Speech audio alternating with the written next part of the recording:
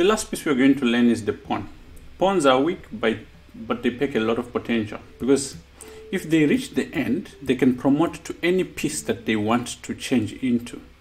Most often people choose the queen, but in some cases it might not be the best.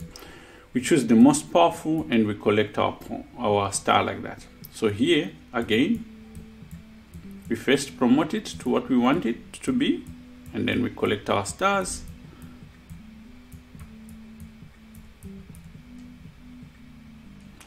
On its own, a pawn can actually capture, but it always captures sideways and in front. So in this case, it can capture like that, it can capture like that, and it can capture like that. In this case, it can capture like this. It can go like this. A pawn cannot go past a piece, so it has to capture sideways, capture sideways, promote into whatever it wants to promote into, and capture the stars.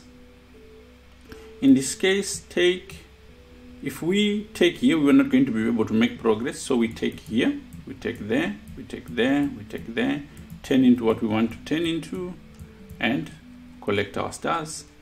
In this particular case, take makes sense, take makes sense, push, push, push, and this pawn can take like that. We can use the queen to capture and collect all our stars.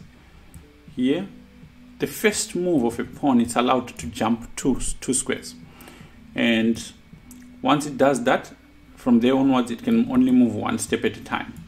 And if it's got something it can capture, it takes on the side. So this position, these pawns could go like that. This has to go here. To capture this, it has to go there. And to capture the last one, we have to go there and capture. That's how a pawn moves.